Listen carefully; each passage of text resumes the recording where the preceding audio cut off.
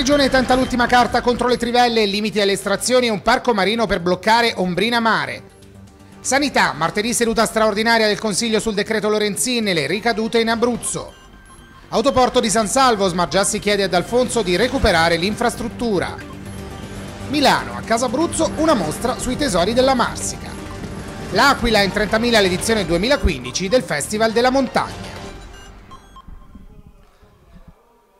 Seduta del Consiglio regionale interamente dedicata alle iniziative per contrastare l'installazione di impianti di estrazione petrolifera nel mare antistante il litorale abruzzese. L'Assemblea ha approvato il progetto di legge alle Camere presentato dal Movimento 5 Stelle, che punta alla cancellazione degli articoli dello Sblocca Italia e del decreto sviluppo, che di fatto danno il via libera alle trivellazioni in Adriatico. Via libera infine alla legge regionale che prevede il divieto di ricerca ed estrazione petrolifera entro i limiti di 12 miglia marine dalla costa.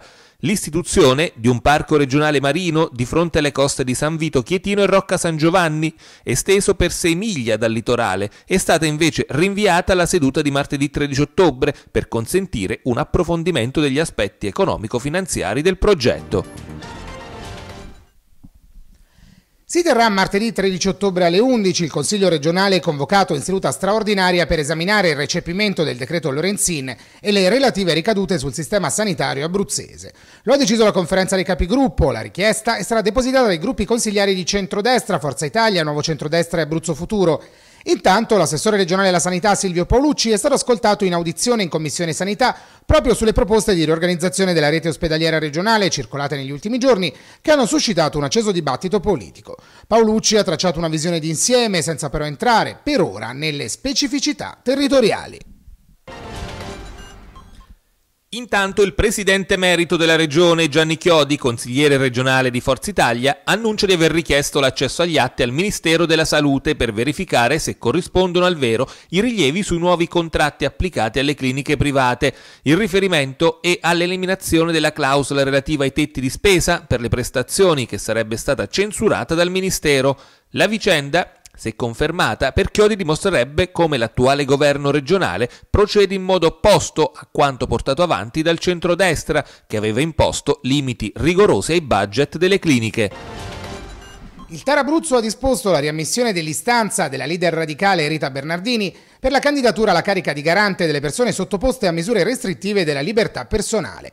Per il Presidente del Consiglio Giuseppe Di Pangrazio, il giudice amministrativo ha disposto che la valutazione delle candidature ai fini della nomina resti di competenza dei capigruppo consigliari. Ho già informato tempestivamente la conferenza, conclude Di Pangrazio, affinché sia subito trattata la questione per procedere alla nomina del garante. Il consigliere regionale del Movimento 5 Stelle, Pietro Smargiassi, si è rivolto al presidente della regione Luciano D'Alfonso per contestare il progetto portato avanti dal comune di San Salvo in collaborazione con la FEE, il consorzio industriale, e la Pilkington per la gestione dell'area limitrofa allo stabilimento dove si trovano le strutture dell'autoporto, abbandonato da anni. Per Smargiassi sarebbe auspicabile, piuttosto che destinare nuove risorse su un progetto ancora da realizzare, dirottare le stesse sul ripristino dell'infrastruttura. Si è conclusa ai tesori dell'ex lago la mostra dedicata al Fucino e al suo territorio che si è tenuta nei giorni scorsi nello spazio Casa Abruzzo a Milano, allestito dalla regione in occasione dell'Expo. La mostra ha ripercorso non solo alcuni frammenti del terribile terremoto di cento anni fa, ma ha offerto anche uno spaccato dei tesori della Marsica, dai cunicoli di Claudio ad Alba Fucens. All'inaugurazione, insieme al presidente Giuseppe Di Pangrazio e al consigliere segretario Giorgio D'Ignazio, hanno partecipato gli studenti degli istituti marsicani che hanno vinto il concorso bandito dal Consiglio regionale. Sono stati circa 30.000, secondo i dati degli organizzatori, i visitatori che hanno partecipato lo scorso fine settimana all'Aquila alla seconda edizione del Festival della Montagna. Negli spazi espositivi sono stati allestiti stand espositivi di enti, attività specializzate, pubblicazioni dedicate alla montagna e spazi enogastronomici. Per gli organizzatori il Festival della Montagna può e deve essere utilizzato come tavolo permanente di confronto e discussione sulla situazione delle montagne del comprensorio abruzzese.